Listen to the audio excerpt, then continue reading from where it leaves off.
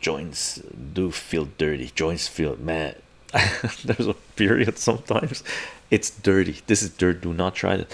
We used to have ashtray right and then you put your you know roaches in there right? And sometimes it was when it was illegal it was hard to get fresh cannabis really. It was don't appreciate.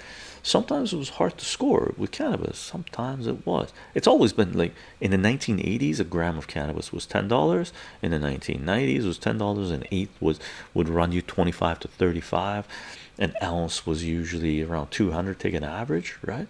In the 1980s the price didn't change. It was always that until now recently and it's you know way over production competition blah blah blah market.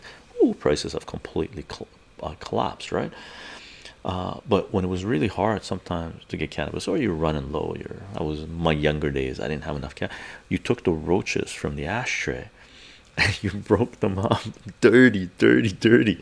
You broke them up right? You broke them up. Nasty nasty. Don't do this. Ugly nasty right? Broke them up broke them up and then you rolled them.